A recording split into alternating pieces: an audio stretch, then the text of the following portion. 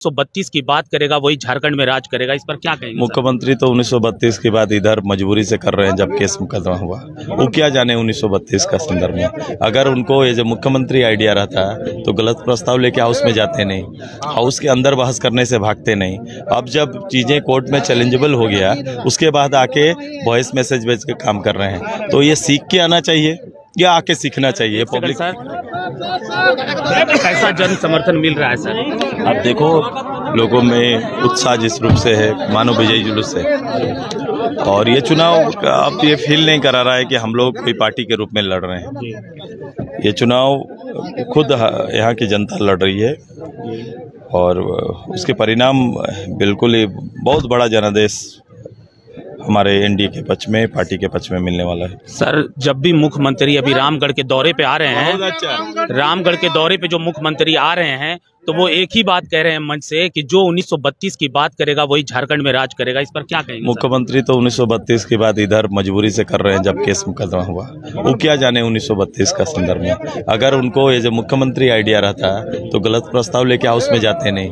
House के अंदर बहस करने से भागते नहीं।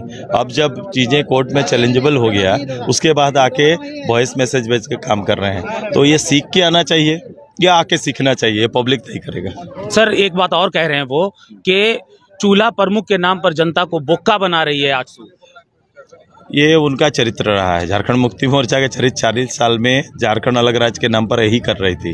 अटल जी आए तब जाके आजसू के संघर्ष अटल जी का प्रयास और उनके नेतृत्व में ये चीज़ संभव हो पाया कि अलग राज्य मिला है। सर आरोप प्रत्यारोप तो इस चुनाव में मुझे बहुत देखने को मिल रहा है सर। लेकिन कोई विकास की पहली बार चुनाव को फेस तो नहीं कर रहे हैं आप। जी बिल्कुल। हमारा मंच विकास की बात करता है। हम लोग विकास की बात करते हैं और विकास करके देते भी हैं। क्या विकास होगा सर? अगर आजसू को मौका मिलती है तो क्या आज भी यहाँ से शिक्षा की स्थिति भी ये है सर? स्वास्थ्य मैं की लगातार बात कर रहा हूँ कि अभी तीन विषय।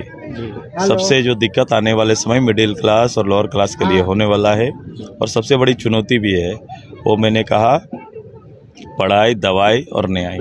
ये तीनों चीज़ें इन मिडिल क्लास परिवार के लिए गरीब परिवार के लिए एक चैलेंजेबल हो गया और उनसे दूर होते जा रहा है।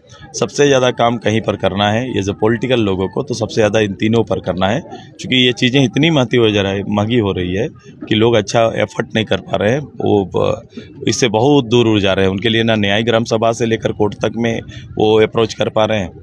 ना स्वास्थ्य सेवा उनके लिए बेहतर व्यवस्था है ना पढ़ाई की क्वालिटी एजुकेशन का पढ़ाई है। सर आखिरी सवाल सर। ये कांग्रेस का एक और कहना है सर कि आजसू ने जो भी विकास रामगढ़ क्षेत्र में किया है वो विकास के नाम पर अपना पेट भरा है। ऐसा ही कहीं पर वो लोग किए हैं क्या? पैंसठ साल के पूरे ही में एक ब्लॉक तो बत, एक गाँव तो बता दे जिस गाँव को उन लोगों ने सजाया है। एक उदाहरण दे दो। चलिए बहुत बहुत धन्यवाद सर। ये हमारे आजसू सुप्रीमो सुदेश कुमार महतो जी थे। जिनसे अभी हम बातचीत कर रहे थे।